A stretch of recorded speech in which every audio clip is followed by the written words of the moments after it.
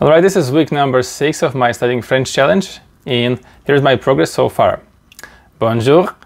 Mon appartement, j'ai deux pièces. Il y a euh, deux euh, toilettes et un grand salon. Euh, il y a un parc près d'ici et un supermarché. J'aime habiter à Brisbane. Alors, aujourd'hui, nous sommes vendredi et maintenant, euh, je- nous allons euh, à la- au restaurant euh, avec ma famille et je voudrais un fruit de mer, un, un café et un croissant, s'il vous plaît. C'est tout. So that was it. Uh, as before, uh, during my uh, week, uh, I use a few uh, things. Mainly was uh, Duolingo application. Still using this. It's a bit less time I dedicated to this, but still I have, I know, a few sessions with this, so it's up to maybe 15, 20 minutes a day. Uh, apart from that, uh, this week uh, I just checked that I listened to 20 audio podcasts from uh, Coffee Break uh, French. So that was 20 of the podcasts. Uh, it was pretty fun, even though like at the end of this, like probably half of the season, so they tried to revise something, and uh, I was a bit lost in some of the topics, especially with this uh, counting. Uh, it's not my big uh, kind of uh, strength at the moment, but yeah, I understand that just I have to probably work on it a bit more.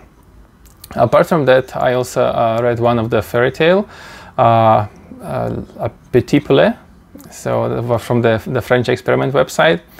Uh, that reading was fun. Uh, probably without translation, I would understand the main idea.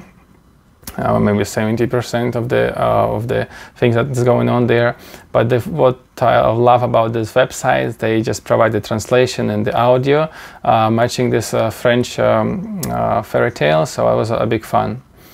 Uh, apart from that, probably the most interesting, uh, like exciting thing about the French this week was that how they call uh, seafood in French.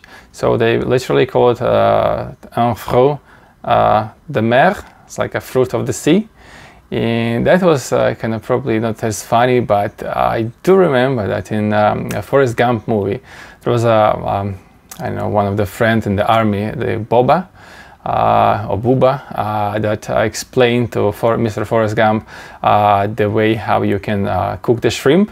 And so at the end of the story, like oh, maybe the beginning, he was calling the shrimp as a fruit of the sea. That's why it was funny to, to hear the same thing about uh, how they call seafood in French, uh, un fruit de mer.